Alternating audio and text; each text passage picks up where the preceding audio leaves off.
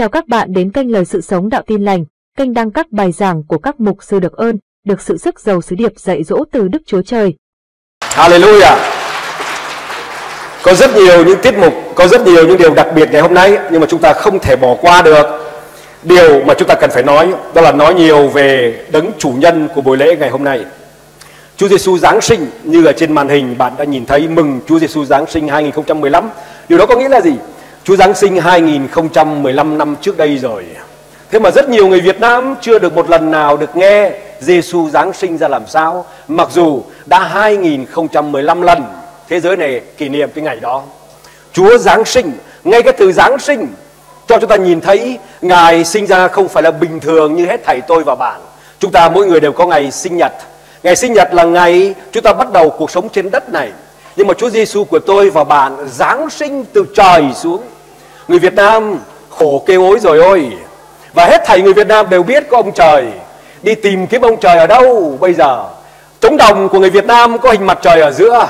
Người tổ tiên Việt Nam, tục ngữ ca dao nó lạy trời cho mưa lấy nước tôi uống. Hết thảy người Việt Nam đều biết có ông trời. Khổ kêu ối rồi ôi. Họ đi tìm ông trời bởi cái đầu của mình, trong lòng biết có ông trời và đi tìm ông trời bằng cái đầu càng đi tìm kiếm, càng hiểu sai Luca đoạn 2 câu 8 câu 14 mà bạn đã được nghe từ lúc ban đầu rồi đây là câu chuyện Giáng sinh mà khắp mọi nơi trên thế giới này, hàng trăm triệu người đang kỷ niệm cái ngày đặc biệt này và trong tuần này, đoạn kinh thánh này sẽ được nhắc đi nhắc lại nhiều lần lắm sách Luca kể lại câu chuyện như sau và cũng trong miền đó, có mấy kẻ chăn chiên chú ngoài đồng thức đêm canh dĩ bảy chiên. Nào, hãy vô tay cảm ơn Chúa vì mấy đứa con chúng ta này. Yeah.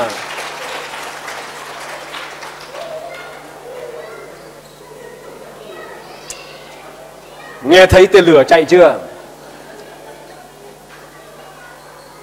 Nhìn thấy mấy đứa này chúng ta không biết tương lai 20, 30 năm nữa chúng nó sẽ là ai.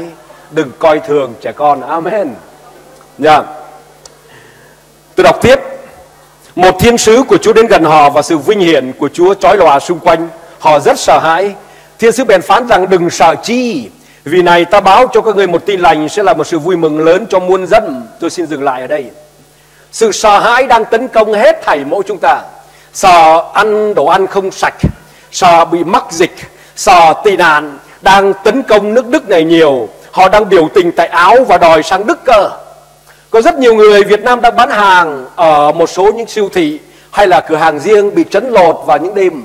Vào những buổi chiều tối chúng ta sợ rất nhiều sự, sợ đủ mọi thứ, sợ không khí bị ô nhiễm, sợ mất công việc làm sắp tới, sợ mấy đứa con hư, sợ chồng bỏ, sợ vợ phản bội, sợ số hầm hưu trong năm tới. Nhiều sự sợ hãi đó tấn công mỗi chúng ta. Và rất nhiều khi chúng ta cố gắng lầm bẩm Đừng sợ, đừng sợ, đừng sợ, đừng sợ Thôi mà sợ làm gì cho mệt Nhưng bạn ơi hết thầy những cái từ kỳ ám thị đó Không thể đẩy sự sợ hãi ra khỏi chúng ta được Chú biết nhiều ngàn năm trước con người như vậy Cho nên Ngài đã tới Và Ngài đưa ra một sứ điệp Đừng sợ mà hãy nhận một điều đặc biệt. Sự vui mừng sẽ chiếm vào chỗ của sự sợ hãi trong lòng các người Đó là, các người hãy tiếp nhận một đấng từ trời. Kinh Thánh chất tiết này. Một tin lành là một sự vui mừng. Bởi vậy cho nên bạn có thể định nghĩa tin lành là mang niềm vui tới. Tin lành không phải là tin dữ. Tin lành không phải đến cướp đoạt của bạn. Tin lành không phải đến dọa bạn. Tin lành mà làm cho bạn sợ hãi thì đó không phải là tin lành. Một tin lành sẽ là một sự vui mừng lớn cho muôn dân hãy nhắc lại cùng tôi muôn dân có một số người họ nói rằng ở Trung Cận Đông ở vùng Ả Rập thì Muhammad hay Thánh Allah làm chúa tại nơi đó Châu Á, Trung Quốc, Việt Nam, Triều Tiên, Nhật Bản thì Đức Phật làm Chúa tại nơi đó. Âu Châu, Giêsu dành cho người Âu Châu. nhưng lời Chúa nói ở đây này, một sự vui mừng lớn cho muôn dân. Không phải chỉ cho người ở Âu Châu mà dành cho hết thảy mọi dân tộc trên đất này. Kinh Thánh chép rằng ở dưới trời này không có danh nào khác. Nhờ đó, con người được cứu ngoài danh Chúa Giêsu. Đó không phải chúng tôi nói, mà lời của Ngài nói trong Kinh Thánh như vậy. Vì có duy nhất một đấng xuống trần gian từ trời, Ngài khẳng định không có ai lên trời được Ngoại trừ một đấng từ trời xuống trần gian Con người không thể lên trời được, Nhưng ông trời quyền năng đó Có thể hạ sinh xuống làm người như tôi và bạn rất nhiều người muốn tự xưng mình làm ông trời nhưng Ngài đã xuống trần gian làm con người để cứu tôi và bạn. Thầy Kinh chép tiếp rằng, ấy là hôm nay tại thành David đã sinh cho các ngươi một đấng cứu thế, là Chris là Chúa. Này là dấu các ngươi nhìn nhận Ngài, các ngươi sẽ gặp một con trẻ bọc bằng khăn nằm trong máng cỏ. Đó chính là điều mà tại sao chúng ta không thể coi thường trẻ con được. Một con trẻ nằm trong máng cỏ và sự cứu rỗi của nhân loại trong đó có tôi và bạn được đặt ở trong con trẻ đó. Chúng ta đừng coi thường trẻ con. Đừng coi thường đàn bà và đừng coi thường trẻ con. Tại sao chúa được đặt nằm trong máng cỏ? Có thể có ai ngồi đây, tại đây giấy tờ bạn chưa được đàng hoàng. Bạn đang trong trong cái diện truy nã hoặc giấy tờ lồm cồm. Bạn có trong cái dạng khổ sở không có mái nhà để che đầu thì Chúa Giêsu được sinh ra trong máng cỏ để hiểu được nỗi khổ của bạn. Chỉ có những người đã từng khổ và trải qua cái khổ thì mới thông cảm được những người đang khổ và giúp những người đang khổ thoát khỏi khổ. Chúa Giêsu đã hạ sinh từ nơi cao nhất của các tầng trời xuống nơi thấp nhất của đất. Tôi được sinh ra trong một nhà hộ sinh, trong bàn tay của người đỡ đẻ. Mặc dù trong thời kỳ đó chiến tranh, nhưng có cái nôi để tôi được đặt vào, có tã để lót. Nhưng Chúa Giêsu của tôi và bạn sinh ra trong một nơi mà đó chỉ có hơi của chiên, ở đó chỉ có hơi của bò, ở đó chỉ có hơi của cừu. Sưởi ấm ngài để ngài hiểu được những kẻ vô gia cư, để ngài hiểu được gần một triệu người tị nạn tại đức này, họ đã không có chỗ để gối đầu. Chúa Giêsu giáng sinh trong máng cỏ, đó là cái dấu để nhìn nhận một đấng cứu thế. Ngài không phải từ trong cung điện đi ra để Ngài có thể hiểu được hết thảy những người nông dân. Ngài hiểu hết thảy những người lái xe ôm. Ngài hiểu hết thảy những người bị ai đó đuổi ra khỏi nhà. Chúa Giêsu là đấng đã chịu khổ để hiểu được cái khổ của bạn. Tiếp theo, bỗng chúc có muôn vàn thiên binh với thiên sứ đó ngợi khen Đức Chúa Trời mà rằng sáng danh Chúa trên các tầng trời rất cao, bình an dưới đất ân trạch cho loài người. Có ba điều mà thiên sứ đã dự báo rất là đặc biệt. Ở trên trời danh Chúa được cả sáng, dưới đất bình an ban cho loài người. Thứ ba, mỗi một con người trên đất này được ban cho ân điển. Chúa Giêsu xuống trần gian không phải chỉ đơn giản sinh ra là một con người bình thường, nhưng ngài giáng sinh mang theo ba điều vô cùng quan trọng mà hết thảy những con người vĩ đại trước ngài và sau ngài không ai làm được. Ngài mang tới cho các tầng trời đầy sự vinh hiển của Đức Chúa Trời đấng mà các vị vua Nguyễn vua Trần vua Lê tại Việt Nam gọi, họ là thiên tử con trời. Chúa Giêsu từ trời xuống trần gian để mang lại sự vinh hiển trên các tầng trời. Điều thứ hai, mang lại sự bình an ở dưới đất này. Người ta có thể rất giàu có, nhưng sống trong một gia đình đầy sự mâu thuẫn. Người ta có thể là tỷ phú, mà ở trong nhà có tỷ những nan đề và sự mâu thuẫn tranh cãi nhau. Người ta có thể là triệu phú, Nhưng triệu nan đề, Bệnh tật, tấn công gia đình của họ. Nhưng Chúa Giêsu ngày tới trần gian này. Ngày mang sự bình an tới cho thế gian. Mang sự bình an trên đất này. Bạn ơi, có những người, Họ sẵn sàng bỏ cả triệu đô Để nhận sự bình an. Người chủ tịch hay là người mà tạo ra cái Facebook, đã bỏ ra 40 tỷ đô la để mua một niềm vui để mà trả cho một niềm vui khi đứa con gái ra đời. Chúa Giêsu ngài xuống để mang sự bình an trên đất này. Điều thứ ba là ân điển cho loài người. Ai là con người tại đây, giơ tay tôi xem nào. Hết thảy chúng ta đều là con người đúng không? Lắng nghe tôi nói. Người ta nói, con người chúng ta không ai trọn vẹn. Có một câu ở Việt Nam, câu hát mà câu này nghe rất là buồn cười. Bao giờ trạch đẻ ngọn đa bao giờ chim đẻ dưới nước thì ta lấy nàng. Có nghĩa là cái người này không hề muốn lấy cái người kia làm chồng hoặc làm vợ. Mới ra câu nói, lúc nào mà trạch đẻ ở trên ngọn cây kìa, lúc nào mà chim đẻ ở dưới nước này, thì điều đó mới xảy ra. Có rất nhiều những điều mà chúng ta lực bất tòng tâm, không làm nổi. Và có rất nhiều người nói rằng, cái loại mày ná làm được việc này, lúc nào mà chặt đẻ ở ngọn đá Lúc nào mà cá đẻ dưới nước thì mày mới làm được việc này. Nhưng Chúa Giêsu ngày xuống, Ngài mang ân điển tới cho con người. Một kẻ như tôi, nói lắp từ nhỏ nói ngọng từ nhỏ có nhiều người kể cả người thân của tôi nói rằng cái thá mày làm sao mà đi tuyên truyền được cái gì có những người tuổi bằng cha tôi nói rằng cái thằng này giảng cái gì nó có làm mục sư cho cây bạch dương đấy 21 năm trước tại Nga, họ nói vào mặt tôi như vậy đó. Nhưng mà ân điển tới. Ân điển của Chúa tới là điều gì? Ngài mang cho chúng ta khả năng. Không phải con người, mà khả năng từ trời để bạn có thể biến điều không thể thành có thể. Chúa Giêsu xuống trần gian, Ngài làm cho danh của Đức Chúa Trời được sáng trên các tầng trời. Ngài mang sự bình an tới cho đất này, Và Ngài mang ân điển tới cho mỗi một cá nhân, Cho mỗi một gia đình nếu vợ chồng bạn đang có mâu thuẫn, Nếu con cái bạn không chịu nghe lời của bạn, Nếu vợ chồng ngay cả bản thân của bạn bất tài, vô dụng, Hết thảy những cái bất, Cái thắt đó, Chúa Giêsu Ngài xuống trần gian. Ngài biến hết thầy dấu trừ Trong đời sống của tôi và bạn, Hết thầy dấu thất, Hết thầy dấu bất. Ngài gánh trên vai của Ngài lên thập tự giá. Và tại nơi đó có một cái cọc đợi sẵn Giáng từ trời, Biến dấu trừ của tôi và bạn thành dấu cộng.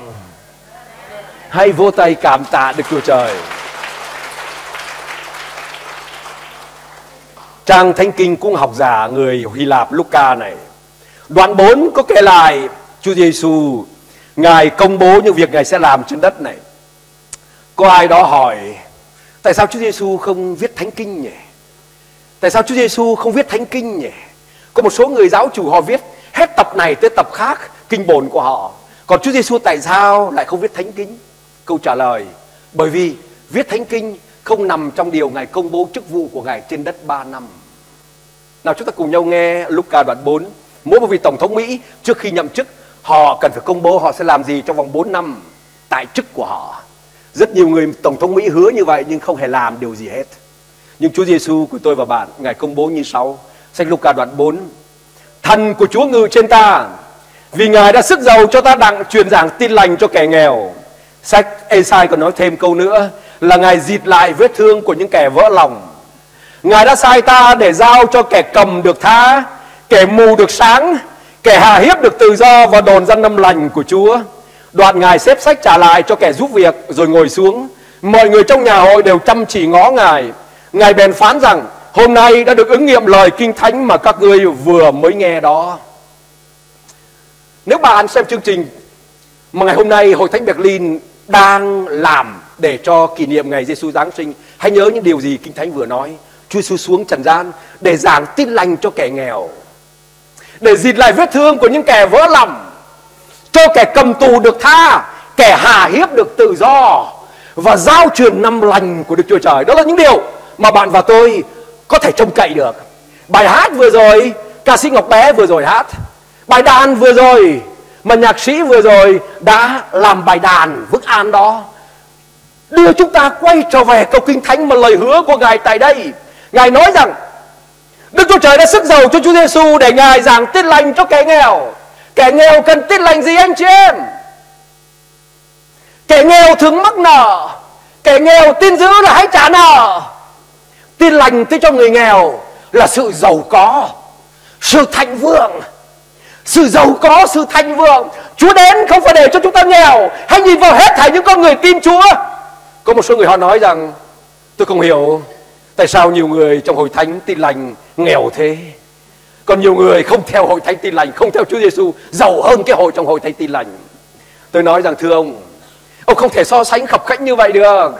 Nếu ông kho so sánh khập khánh như vậy tôi có thể so sánh những người mà ông đưa ra giàu nhất không theo Chúa tôi sẽ đưa cho ông nhìn thấy những người giàu nhất ở trong Chúa như thế nào.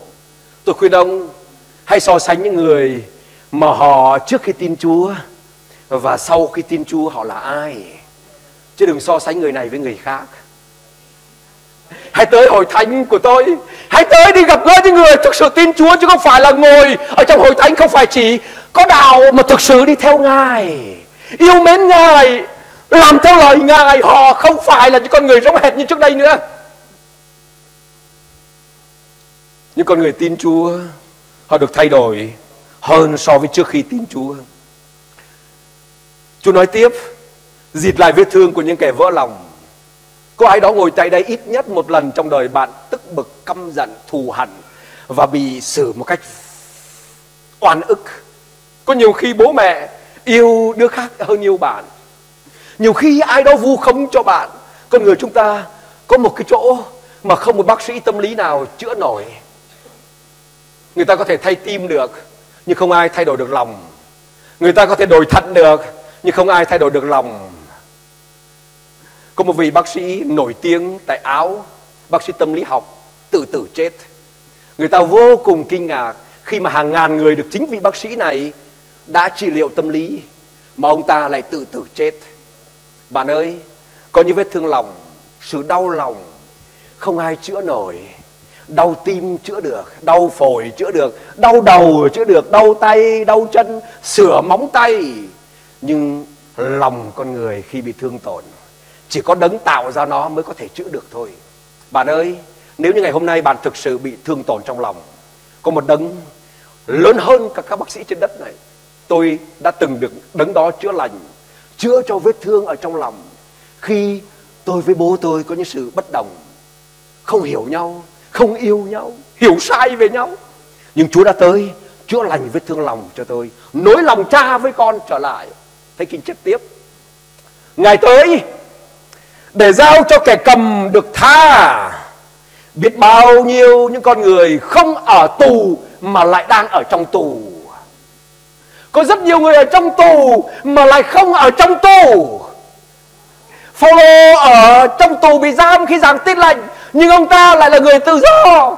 Còn có những người lang thang ở giữa bầu trời tự do này mà lòng thì lại ở trong tù. Tội. Những thói hư tật xấu, những cố tật cờ bạc diều chè. Tứ đồ tường biết bao nhiêu những thói xấu đang giam cầm con người đó ở trong tù đi giữa trời đất tự do mà con người đang ở trong tù. Chúa Giêsu nói, Ngài đến để giao cho kẻ cầm được tha. Có những cái tội mà bạn xấu hổ với vợ của bạn. Có những cái tật mà bạn xấu hổ với chồng của bạn, Xấu hổ với con cái. Ngày hôm nay, Nào chúng ta cùng nhau nhìn trông sự Giáng sinh của Chúa đến vì bạn đó. Bạn có thể cùng tôi Trước mặt Chúa và nhờ Ngài ân điển của Chúa. Sẽ trở thành một người đàn ông thực thụ trước mặt vợ, trước mặt con, trước mặt những người khác. Chúa Giêsu nói tiếp cho kẻ mù được sáng kẻ mù được sáng. Biết bao nhiêu người mắt còn nhìn thấy được nhiều điều xem đá bóng mà có vô số những điều cần thấy mà lại không thấy. Còn có bao nhiêu người mù mà lại thấy được một nghệ, một nghệ sĩ guitar mù có tên là Vượng tại Hà Nội đã đánh những bài nhạc rất là hay ông ta mù mà được nhìn thấy những điều mà người sáng mắt không nhìn thấy. Chúa, Ngài tới cho những kẻ mà đang bị mụ mị mê tín dị đoan. Càng ngày càng dị đoan đến mức độ không còn tính người nữa. Con của mình như vậy mà vụt nó như con thú. Đánh nó tơi tả, hành hạ, kinh hoàng để đuổi quỷ. Bạn ơi, hết thảy những điều đó đang bị mù Chúa đến để mở mắt. Có một người chở taxi cho tôi xuống San Petersburg. Tôi đang ngồi taxi như vậy. Thấy ông ta treo một cái bùa ở trước cái uh, cửa kính của xe ô tô. Đang đi lúc lắc như vậy tôi hỏi cái này là cái gì? Ông nói rằng đây là lá bùa giúp cho tôi ô tô không bị đâm vào cột điện. Và khi xe dừng lại chút, trả tiền xong, tôi mới kéo cửa kính xuống, đưa tay nói thật to, tôi vứt cái bùa ra khỏi cửa đây. Ông nói dừng, dừng, dừng lại, ông phanh cái xe lại, dừng lại không được làm. Ông bảo vệ cái lá bùa đó. Tôi nói xin lỗi ông ông là người nga mà. Tôi nói xin lỗi ông tôi không làm như vậy đâu nhưng tôi muốn cho ông một điều vừa rồi. Tôi muốn vứt cái cục này ra khỏi cửa xe. Ai đã bảo vệ nó? Nó có bảo vệ được nó khỏi tôi hay là ông phải bảo vệ nó khỏi tôi? Ông dừng lại quay sang nhìn tôi một hồi nói ừ tôi vừa bảo vệ nó. Tôi mới nói rằng nếu ông mà phải bảo vệ nó khỏi tôi, thì tại sao ông tin rằng nó có thể bảo vệ ông khỏi đâm vào con điện? Ông dừng xe lại, quay sang nói ừ nhỉ. Thế mà tại sao bây giờ tôi mới được biết? Chúng tôi sau khi trả tiền, ông còn nán lại ở trên xe đó. Tôi giải thích cho ông về Chúa Giêsu tôi xuống San Petersburg để làm gì? Và ông nghe, tôi trao cho ông một quyển thánh kinh tân ước bằng tiếng Nga và nói rằng hãy đến nhà thờ. Bạn ơi có nhiều người tự xưng mình là khôn ngoan, mà lại trở nên điên dại. Đứa con gái cặp nách của bà hàng xóm bán hàng, ông thổ địa vào nách, chạy về khoe mẹ mama mama búp bê búp bê búp bê. Bà mẹ nói rằng búp bê cái gì? Đây là ông thổ địa của bà hàng xóm mang khẩn trương không bán nó té cả nhà mình bây giờ. Đối với đứa con gái 5 tuổi đó, đây chỉ là một con búp bê không hơn không kém. Thế mà mẹ nó với những người khác lại cho đó là ông thần. Chúa tới cho chúng ta không còn bị mù nữa. Amen. Amen. Bạn ra cổng gặp người đàn bà Bà không còn oán họ nữa. Cứ đổ đổ đổ. Tại sao ra giữa đường thì gặp bà đây? Gặp đàn bà chửa bà không còn sợ và ghét họ nữa. Amen. Con chó đen chạy ngang qua, Mèo đen chạy ngang qua bà không còn sợ nữa. Không còn sợ ngày hạn. Bạn ơi, Chúa tới mở mắt chúng ta. Hãy vô tay cảm tạ Đức Chúa Trời. Nguyên cái khoản không còn sợ bị hạn là mình đã sướng rồi. Tiếp theo. Kẻ bị hà hiếp được tự do. Hà hiếp. Có nhiều người không bị ai hà hiếp Mà lại tự mình hà hiếp bản thân. Sự sợ hãi tự chuốc vào bản thân. Hơi đau cổ một chút, ung thư rồi. Hơi sụt xịt mũi một chút Ồ dịch cúm gà lây rồi. Sự sợ hãi, Sự lo lắng, Sự bất an Đưa con người tới trầm cảm. Không phải ai đe dọa bạn đâu, Nhưng con người tự chuốc hết thảy sự sợ hãi tới, họ đang hà hiếp họ. Bởi vậy cho nên Chúa tới, mang cho chúng ta sự tự do, sự bình an. Amen. Và điều cuối cùng mà ngài công bố, giao truyền năm lành của Chúa có nghĩa là đổi đời. Không có một người nào trước ngài chiến thắng được sự chết. Ai đó cũng nằm trong mộ. Dù người đó là vĩ nhân, thì ngôi mộ đó vẫn giam người ta ở trong mộ. Nhưng Chúa Giêsu ngài xuống trần gian 2.000 năm trước Ngài chết thay tội cho tôi và bạn. Ngài sống lại từ cõi chết để công bố rằng Từ ngày này trở đi, Sự chết không còn cầm quyền Trên những người tin nhận Ngài nữa. Và ngày hôm nay, Chúng ta tổ chức ngày Chúa Giáng sinh Trùng vào đúng ngày Chủ nhật. Tại sao? Bởi vì ngày đầu tiên của tuần lễ, Chúa Giêsu đã sống lại. Và ngày đầu tiên của tuần lễ gọi là ngày Chúa Nhật. Hãy vô tay cảm tạ Đức Chúa Trời câu kinh thánh cuối cùng mà tôi muốn đọc để kết thúc bài giảng ngày hôm nay. Hallelujah. Câu cuối cùng lời Chúa nói rằng Đức Chúa Giêsu Christ hôm qua, ngày nay cho đến đời đời không hề thay đổi. Lời Chúa nói thần của Chúa ngự trên ta để ta giảng tin lành cho kẻ nghèo. Dịt vết thương của những kẻ vỡ lòng cho kẻ cầm được tha, kẻ hà hiếp được tự do và đồn ra năm lành của Đức Chúa Trời. Chúa sống lại Ngài vẫn tiếp tục làm như hai ngàn năm trước Ngài làm. Năm lành của Chúa có nghĩa là gì? Ở Do Thái có cái năm lành, cứ sau 49 năm tới năm thứ 50 là hết thảy mọi người nợ được hoàn lại hết thảy những cái của cầm. Thế giới ở trong quốc gia Do Thái năm 50 đó không có ai phải nợ ai hết ạ. Và Chúa Giêsu ngài xuống trần gian, ngài trả nợ cái món nợ mà nguyên thủy con người phạm tội. Bất cứ ai phạm tội người đó phải chết nhưng khi Chúa chết thay tội cho tôi và bạn, Mình tiếp nhận cái ân điển lạ lùng đó vào đời sống của mình, Thì mọi tội mà tôi và bạn phải trả Không còn phải trả nữa. Bạn hoàn toàn được tự do. Chúa Giêsu Christ hôm qua, hôm nay cho đến đời đời không hề thay đổi. Tôi muốn mời anh chị đứng dậy cầu nguyện nào. Hallelujah. Chúng ta đến với Chúa cầu nguyện. Cuộc sống của tôi được thay đổi rất là nhiều. Từ một người hùng trắng tại Nga sang Nga du học năm 88. Tôi được gặp mẹ nuôi của tôi năm 90. Bà làm chứng về Chúa Giêsu cho tới năm 92. Hai năm trời. Tôi được nghe về sứ điệp của Ngài mà tôi đâu có tin. Đối với tôi hết thảy những chuyện đó là phù phiếm. Nhưng rồi có một ngày, Chúa tới trong đời sống của tôi. Ngài nói với tôi rằng con trai của ta. Khi tôi cầu xin Chúa một quyển thánh kinh tân nước bằng tiếng Việt, đấng từ trời đó sống lại từ cõi chết, đã nói với tôi rằng, con của ta ta cho con không những chỉ một cuốn thánh kinh, mà ba ngàn cuốn thánh kinh. Tôi nói, ở đâu? Trong cái trang mà rất nhiều các mục sư tại Moscow cho tôi địa chỉ, tôi dở và dừng lại một trang. Hôm sau đến đó lấy họ nói rằng không có tiếng không có tiếng việt chỉ có tiếng Nga và tiếng Anh thôi. Họ đi tìm kiếm mang tới ba quyển màu xanh lá cây và một quyển màu đen. Họ nói rằng quyển màu đen là tiếng Nga còn đây là tiếng Anh. Tôi nhận quyển tiếng Anh nó cầm trong tay. Đọc thấy đây là thánh kinh tân ước bằng tiếng Việt. Tôi hỏi đây là tiếng Việt? Họ nói rằng ôi tôi, tôi cứ tưởng tiếng Việt của các anh giống như cái đũa xếp xếp tiếng Trung Quốc chứ. Tôi nói rằng đó là tiếng Trung Quốc. Chữ cái tiếng Việt chúng tôi là chữ cái Latin. Trong kho có bao nhiêu cuốn? Họ nói ba ngàn cuốn thánh kinh. Cuộc đời tôi, khi nhận hơn ba chục quyển đó, trong túi ba tầng, tôi nhận xong vừa vác trên vai vừa nói Giêsu ơi, bắt đầu từ ngày hôm nay cuộc đời con dâng lên cho ngài. Vì trước đó 4 tháng tôi có nói với ngài rằng, nếu ông trả lời tôi ba câu hỏi, tôi sẽ dâng cuộc đời tôi cho ngài. Giao truyền danh của ông cho tới khi tôi chết. Bạn ơi, hồi đó khi tin Chúa Giêsu tôi vẫn bị nói lắp. Tôi là một sư hội thánh, sau đó 2 năm vẫn nói lắp và nói ngọng. Chúa, ngài ban ơn cho. Ngài thay đổi cuộc đời của tôi. Tôi không còn tục tiếu chửi bày nói tục nữa. Không còn bất an lo lắng, sợ hãi nữa. Bài giảng của tôi ngày hôm nay, tôi đang chia sẻ nỗi đau, nỗi buồn, sự thất bại, sự bất toàn của con người tôi cách đây 23 năm trước. Bạn ơi, tôi không hơn được bạn. Nếu bạn có mặt tại đây và nói rằng, mục sư ơi, một phần cái gì mục sư nói nó giống với cuộc đời của tôi. Làm sao tôi có thể thay đổi được? Bạn ơi, tôi rất là vui mừng ngày hôm nay giúp bạn.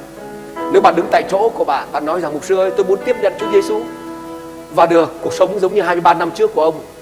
Thì bạn đứng tại chỗ của mình, bạn giơ cánh tay của mình lên cao hơn. Cho tôi nhìn thấy, tôi sẵn sàng giúp đỡ bạn. Như tôi đã từng làm 23 năm trước. Có ai tại đây muốn tiếp nhận Giêsu là cứu Chúa đời sống của mình không? Đây là món quà mà Chúa muốn mang tới cho bạn. Hãy tiếp nhận Chúa Giêsu vào đời sống của mình. Chúa đã giáng sinh trong mắng cỏ. Và ngày hôm nay Ngài muốn Giáng sinh ở trong lòng của bạn, anh chị em ơi. Người ta tới, Người ta tới với máng cỏ để thao lạy Ngài. Bạn ơi, Hãy tiếp nhận Chúa vào lòng của mình Để cuộc đời Mà giống như máng cỏ của bạn Sẽ không còn vô nghĩa nữa. Nào, chúng ta cúi đầu cầu nguyện nào. Hãy nhắc theo lời cầu nguyện của tôi. Kính lạy Chúa Giêsu Ngày hôm nay, Con đã tin Ngài, Sống lại từ cõi chết. Ngài chết thay tội cho con. Chúa Giêsu ơi, Ngài là Chúa, Là chủ cuộc đời của con. Hãy giúp con Giao truyền danh của Ngài Cho tới khi Ngài tới. Con cảm tạ Chúa. Con cầu nguyện Nhân danh Chúa Giêsu Christ. Amen. Hãy vô tay cảm ơn Chúa Giêsu Amen.